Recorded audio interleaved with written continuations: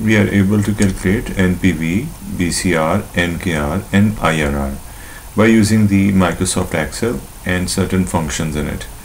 Furthermore, we can try to elaborate our understanding of a few functions that can help us to better view and better interpret these values.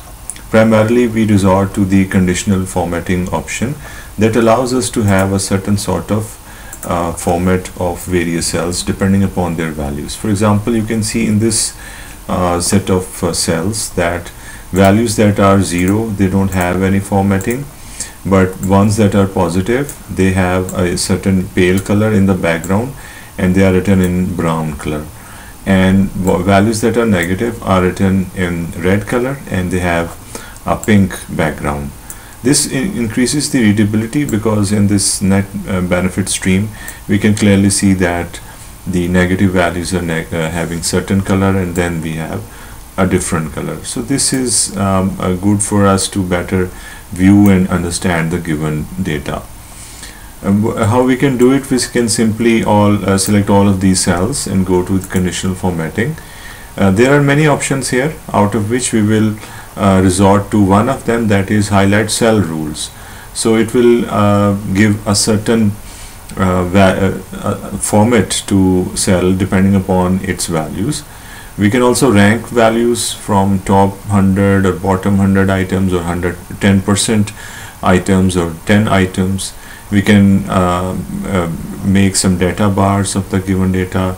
We can color the scales and we can develop some icons depending upon the increase or decrease of the values.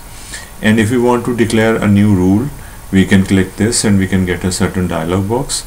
And if we want to clear the rules uh, that we have already developed we can do it from here. Uh, if you want to remove the rules only from the selected cells we can do it from here. And if you want to remove the rules from the entire sheet we can do it from here. Since I have already declared the rules I'm just going to show you uh, the rules that I have already developed. From this option where we do the manage rules option. So when I click it I get this dialog box which is conditional formatting rules manager in which uh, we have the option of uh, uh, you know working on the current selection rules or other rules that are applied on other cells. Uh, I can delete a certain rule from here. This can be deleted simply by clicking this button. I can change their order just like I did. And I can also uh, edit the rules or I can declare a new rule. Um, new rule or editor rule has certain uh, uh, dialog box that I can see here. Format all the cells based on their values. This is one option. We can assign different formats based upon the values. And uh, in this option we uh, format only those cells that have a certain value for example in this case I want to assign a certain format to a certain cell um, and not to any other cell. So this is the most suitable out of the options that I have. For the top or bottom ranked I can choose either of these. So uh, I can survey all of these but the most important and most relevant in this case is this one because it considers the cell value and considers if it is greater or smaller or equal to a certain value and then assigns a certain format to it. So the cell value uh, if it is greater than 0 then I should format it with a color of font brown and color fill in the background as pale. When I do it OK then it, it gets applied and you can see this is that rule.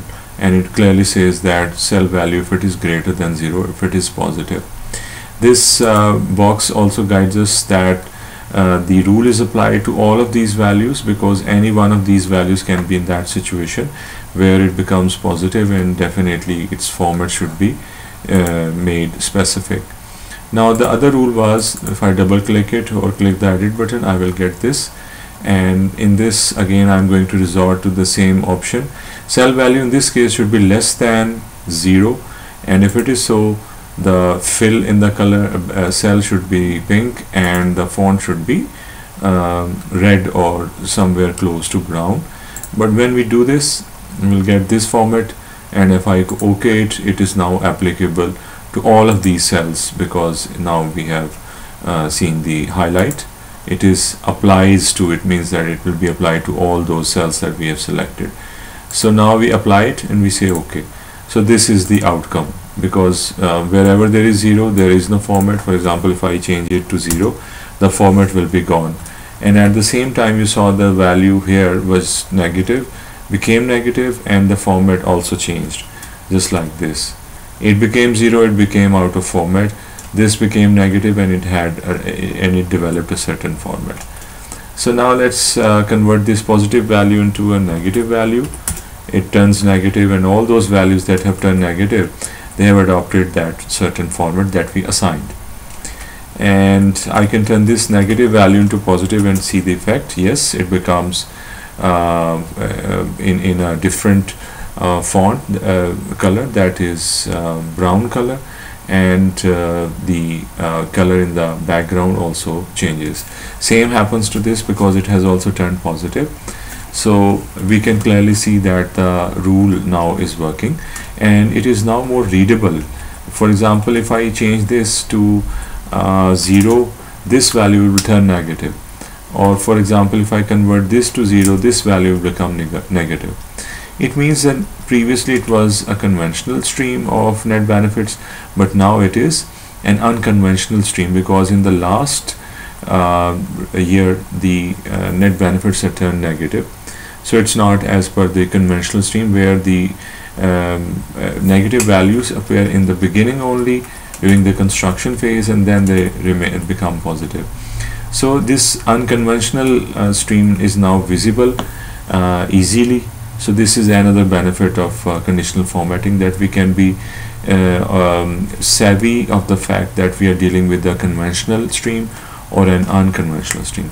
So we recover the original values here and we now agree that conditional formatting can make things more readable and hence understandable for us.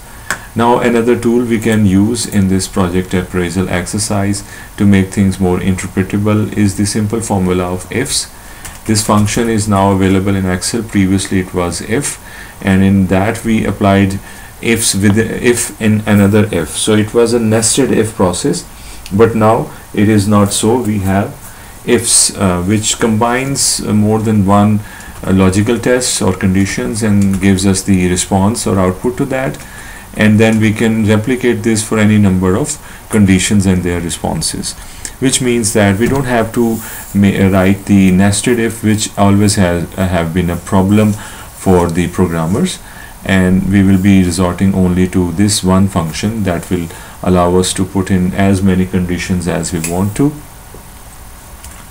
so if I read these conditions, it says that if the value of NPV, which is in H14 column cell, if it is positive greater than 0, it should say that feasible project is there. If it is equal to 0, definitely the project analyst should be indifferent because it's neither positive nor negative, neither beneficial nor um, uh, wasteful and if it is that is the ne negative NPV value is negative it should be considered an infeasible project. So let us see the uh, uh, precision of this formula. Let's make it zero. When in my it zero it becomes project analyst may be indifferent. And if I make it a positive value it, it says it's a feasible project. When I say that it is uh, a negative NPV then it becomes an infeasible project so the formula works fine. We have verified it. And now we come to the other formula that is the formula of BCR in this we apply the same formula that is if function. But definitely we have to compare it with some other um, value that is 1 because it's a ratio it should be compared with 1 so if BCR is greater than 1 it means that we have a feasible project. If it is equal to 1 then it is um, project analyst may be indifferent. And if it is less than 1 then it is infeasible project. Uh, this is the theory that we have already understood about BCR. So let's see if it really works. Um, let's make it 1 so it becomes an, uh, a situation where the project analyst is indifferent if it is less than 1 it becomes an infeasible project and for 1.5 it becomes a feasible project um, this seems like 1 but actually it's not because uh, it has some uh, non-zero decimal places after these four decimal places. So this is also tested. If BCR is correct then we can replicate this formula for NK ratio. And you can see that we are um, considering the value of NK ratio and comparing it with 1 just like we did for BCR and here it is happening again. And it is happening again here right? So let's see if it is really correct. 1 precisely 1 if it is the value the project analyst will be indifferent. If it is less than 1 then it will be an infeasible project. In case of value greater than 1 it should be a feasible project. For so this formula is also correct. It holds correct technically sound. And now for the final thing that is IRR we can compare it with the opportunity cost of capital OCC and we have found it to be 26.57 uh, you know that we have to compare it with the opportunity cost of capital. So we chose this cell to put the value of OCC that is opportunity cost of capital and we have substituted it uh, as 12 so we can compare this value of opportunity cost of capital with IRR and for that what we do is uh, let's experiment uh, and also verify the formula. In this case we have to compare the value of IRR with the value of opportunity cost of capital which is in cell B2 and if IRR is greater than opportunity cost of capital it should be considered a feasible project. If IRR is equal to the uh, opportunity cost of capital should be considered a project where the analyst is indifferent and if it is an IRR which is less than BC uh, opportunity cost of capital OCC then it should be considered an infeasible project. This is the standard theory of IRR and its interpretation. Let's see that how uh, it, this formula works. Um, so let me assume that the IRR is 12% and in that case the answer would be this that the project is indifferent. Let me put a value less than 12 it will be 11 for example. It becomes an infeasible project. So uh, it gets clear that if IRR is 11 percent and the opportunity cost of 12 percent we should not go for this project. And if the IRR is 13 percent then it is greater than the 12 percent opportunity cost of capital and it becomes a feasible project. So in this way we are able to um, interpret the uh, discounted measures of project worth in a very easy way. We can say that it's an automated way of interpretation simply by using the ifs for a function in the uh, Microsoft Excel. Um, this will allow us to uh, make our interpretation easy and precise. And from practical or professional point of view such spreadsheets can be very valuable for any project analyst. Thank you